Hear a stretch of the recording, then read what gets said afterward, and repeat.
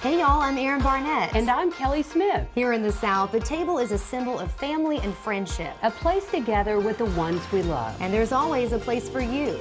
Right here at the Southern Table. Presented by Ingles.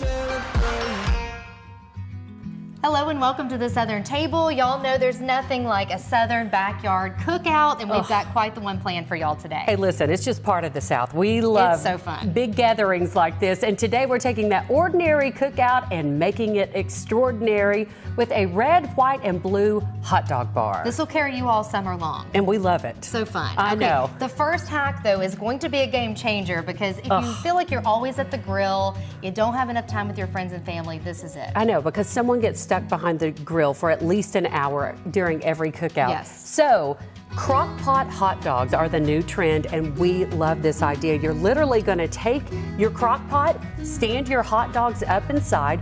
You can cook them for two hours on high or four hours on low if you want. They are delicious. You Easy. do not need to add water. You literally let them just have all their normal natural juices and they are to die And for. talk about a way to feed a crowd oh, on a budget. I mean, this so is incredible and so easy. easy. Okay, let's build this hot dog. I'm ready. Uh, we've got our Laura Lynn buns and also the Ingles Bakery makes fresh buns for you. They're so, so good. Oh. So we'll get those out.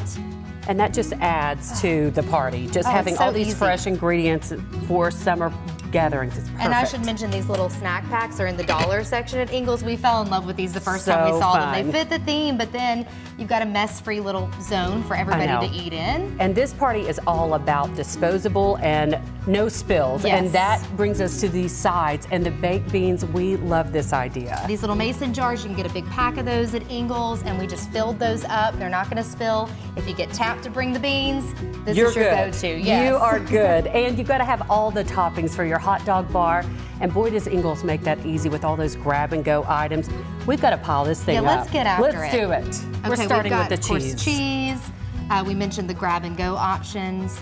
This pico de gallo is one of my favorites, and they make it fresh every day. Exactly. It's to die for. And we talked about disposables, and all these items are disposable right down to these labels. Yes, so these cute. are just wooden clothespins. We put shipping labels on and wrote on there the item. So easy. So easy, so fun. The only question is how many of these hot dogs do you think you can oh, eat? Oh my goodness, girl. I guess this has turned into a competition. You know it has. Remember, there's always a place for you at the Southern Table. Presented by Ingles. We'll see you back here next time.